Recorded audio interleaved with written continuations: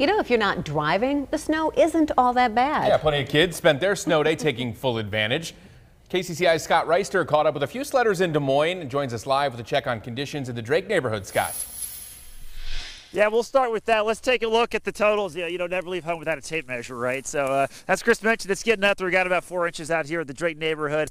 So, uh, more than enough to have a good time, especially when you don't have school today, right? Or you got out early. This afternoon, as you mentioned, we were out and about seeing what people were up to down in the uh, Des Moines area and went to Waveland.